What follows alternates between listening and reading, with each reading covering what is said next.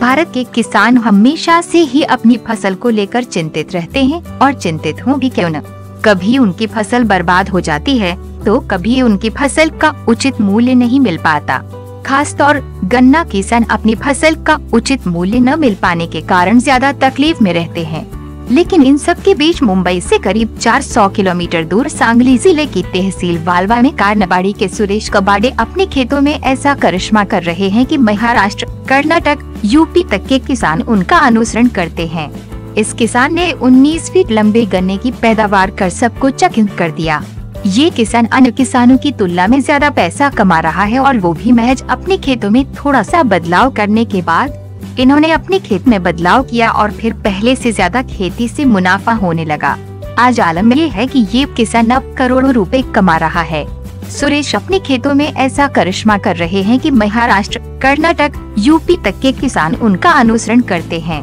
उनकी इजाद तकनीकी का इस्तेमाल करने वालों में पाकिस्तान के भी कई किसान शामिल हैं।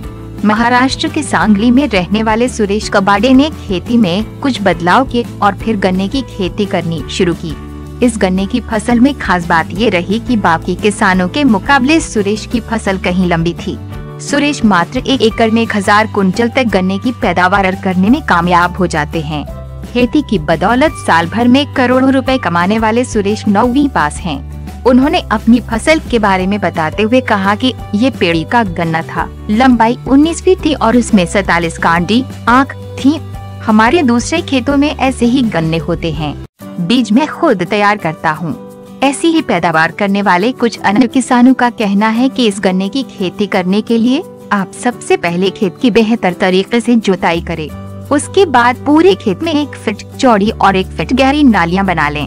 इन नालियों को बनाते समय ध्यान रखें कि इसके बीच साढ़े चार फीट की दूरी होनी चाहिए एक एकड़ खेत में 60 कुंतल गोबर की खाद और 50 किलो एनपीके खाद डालें, जिससे पैदावार बेहतर और कीड़ा मुक्त होगी अगर आपको ये वीडियो पसंद आए तो लाइक एवं शेयर ज़रूर करें आपको हमारा ये वीडियो कैसा लगा ये हमें कमेंट करके ज़रूर बताएँ।